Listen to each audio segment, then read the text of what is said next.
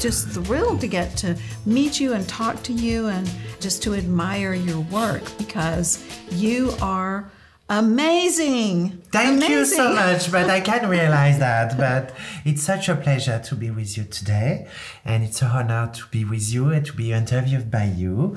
You've been setting up your first museum exhibition at SCAD Lacoste. What do you think of our little village? What I think about the little village, but Provence is just my heart. Yes. Because my grandfather bought long times ago an amazing house in the Luberon 2, mm-hmm. just near here. It's a part of my life. Yes. And I love because all its light, all its smelling, freedom, and I can run everywhere and you can touch the earth and can be clothed with reality, mm. finally. Several iconic designs are in the exhibition. How did you make the selections? Because it must have been quite difficult with your entire body of work. It's quite difficult. I have mm. never the time to see my work like art because mm. every season, every six months, I have to reinvent myself, reinvent the collection mm. with my DNA, of course. Mm-hmm. But it was very difficult to underline what is the best part of my work. And it's very important for me to say, I'm not choose all myself because you crew, because they work a lot on my work to define what is the best way to show my work in this exhibition at Lacoste. They have choose all the best pieces that I love and that they love. So thank you for that. Well, it's fabulous, and I think that guests who come to the museum will get an idea of the breadth and depth and the sparkle, the glamour of your work. I think that this exhibition is very Parisian finally because because in fact it's classic with lots of beautiful embellishment. You can see the cut nearly touching the fabric. Mm. You can see amazing harness in crystals, mm-hmm. amazing hats, and it's futuristic fashion.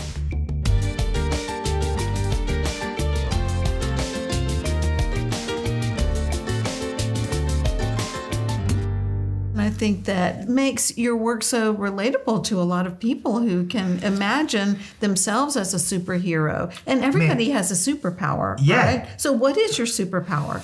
My superpower? Yes. Uh, I'm a super dreamer. Okay. Definitely.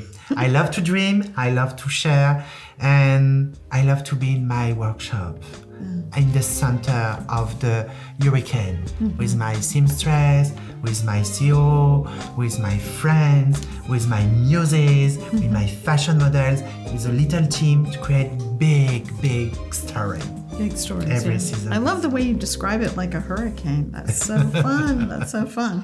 When you were starting out, I understand maybe you were inspired by my friend Andre Leon Talley. In mm-hmm. fact, I have to say something about him because he was the first black people for me in fashion who pushed the limits of creativity. Mm-hmm. And when I Sorry, I'm a little bit moved because when I create the collection First Colors mm-hmm. with my CEO, Jean-Paul Covin, 12 years ago, mm-hmm. at this time, Mr. André Leon Talley pushed the limit for black people before Black Lives Matter. And because in my work, it's very important for me to be inclusive with different type of people.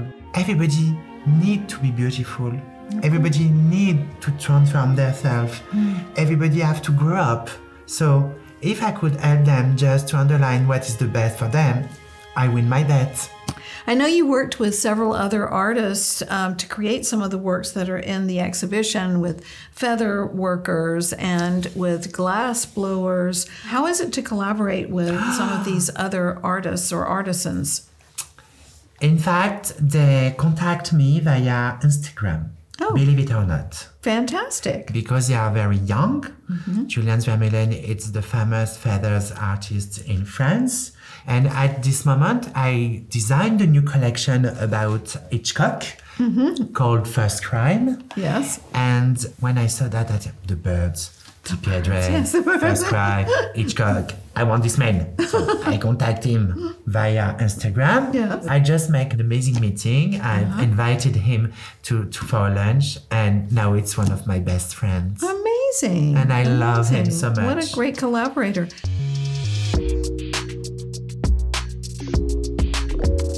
You worked at some notable houses early in your career. What did you learn from some of those first jobs? In fact, I used to try to become a doctor. So I studied medical studies during uh, four years. Mm-hmm. Mm-hmm. And if you look my work in the details, all the cut is very anatomic. Mm-hmm. It's my obsession. Yes. How to underland a beautiful breast, how to underland a beautiful waist, the hips, mm-hmm. beautiful shoulders, mm-hmm. and all it's about cut. Mm-hmm. I love to work directly with the fabric on the mannequin and to transform the dress directly with anatomic cut. And also, when you studied medicine, uh, you have to be a quite good worker. You have to work every time. Yes, well, because I've met Jean Paul Gaultier too, and I know that he was one person that you worked with Yeah. early on. Mm-hmm. But in fact, it's very important for students and when you are assistant to go in the big house like Jean-Paul very Gaultier. important. It's very important. It was such a pleasure to work with John Galliano at Dior Oh, yeah. It was such an honor to listen Mr. Alexander McQueen at Givenchy. Mm-hmm. The craziness of Jean-Paul Gaultier was such a, a dream. It teach me how to, to cut. It mm-hmm. teach me how to take distance with, with your mannequin when you mm-hmm. create to see just the shape and how hmm. it's moving. Oh, It was a, a real luck to be in the side of this big name in mm-hmm. fashion mm-hmm. because you learn. you learn. Absolutely. learn. Yeah. Our students will learn a lot from seeing your exhibition. So thank you for being in that way a guest, you know, teacher here because they will learn It's from you. It's my you. pleasure. You're known for embracing technology and even call your Apple Pencil your magic wand.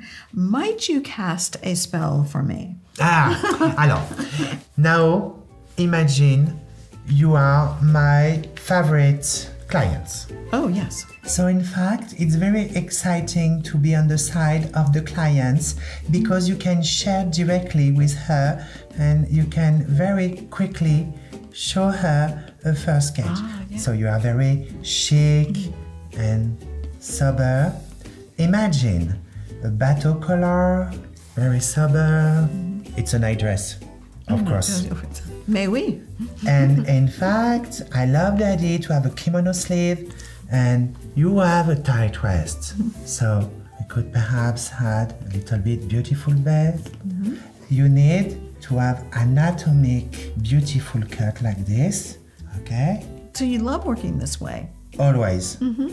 It's the best way to share. Mm-hmm. And in fact, when I have a meeting with my clients, I am like Mary Poppins. I come with a big bag. In my big bag, I have my iPad Pro, fabrics, swatches, mm-hmm. embellishment, embroideries from Shanaga, amazing fabrics from Sfate Combier, and I open the bags and all it's transformed. Amazing. Ah, that's too little padding Yes.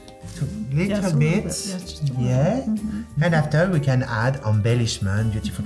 Perhaps I want something like this.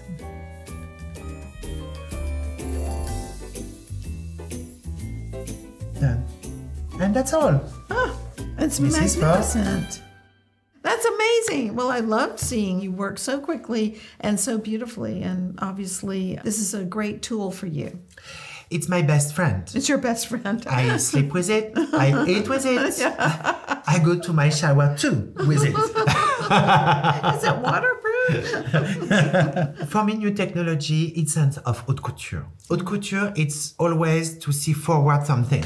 It's always how to push the limits of the new technology mm-hmm. and the know-how. Mm-hmm. And finally, what is haute couture? Haute couture, it's tradition and mm-hmm. innovation. And it's my obsession how to create a new collaboration between old know-how and the future will be in virtual. Hmm. You know that. yeah, so you're doing game design. How do you think that our game design students can work with our fashion students? What would you recommend? It's a game changer. Mm-hmm. Definitely. In the future, you will have a meeting with Julien Fournié in the metaverse. And because all the body of my clients will be scanning, she will jump in my uh, virtual office to have a mm-hmm. meeting, and I will make a draping directly on her body. Mm-hmm. And to have the dress on her in virtual. Mm-hmm. But nowadays, my obsession is how to transform in 3D fabrics. The interaction between different fabrics mm. have to be created in 3D. So my first obsession. why don't you invent that? I need to find an investor for that, mm-hmm. but my obsession is to create a fabric library in virtual. That's something to look forward to.